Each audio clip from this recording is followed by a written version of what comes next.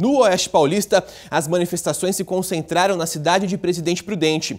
Nas primeiras horas da manhã, os ônibus do transporte coletivo não circularam. Muita gente chegou atrasada ao trabalho. Repórter Rubens Nakato fala com a gente ao vivo de Prudente. Nakato, o serviço já foi normalizado. Bom dia para você.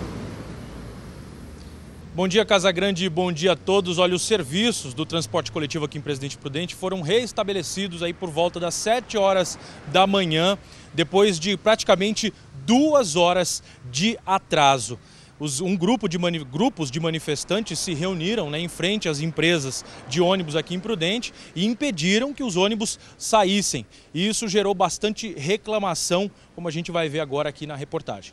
O atraso dos ônibus que foram impedidos pelos manifestantes de saírem dos pátios das empresas não agradou nem um pouco quem precisava sair cedo de casa. Atrasei por conta disso, vim de lotação. Vim com a perua que fazia lotação. Tive que vir de carro para trabalhar hoje cedo, seis horas da manhã. O serviço foi retomado por volta das sete da manhã. Numa das rotatórias de entrada de Presidente Prudente, os manifestantes fecharam o acesso. Com bandeiras de sindicatos, faixas e cartazes impediram que os carros passassem.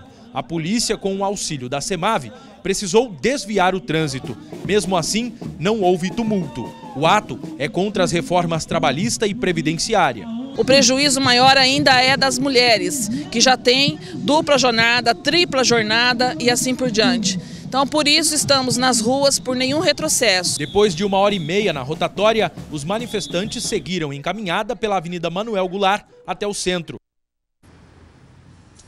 Como a gente viu aí na reportagem, né, eles se reuniram primeiro na rotatória, que fica na zona oeste aqui de Presidente Prudente, caminharam até o centro. Agora há pouco, inclusive, eles passaram aqui pela Avenida Coronel Marcondes em Presidente Prudente e acabaram aí se dispersando, porque eles disseram que este protesto, pelo menos essa movimentação, iria terminar aí por volta do meio-dia. Casa Grande, servidores de escolas estaduais também aderiram ao movimento, viu? Em algumas unidades não teve aula hoje, já em outras a paralisação foi parcial.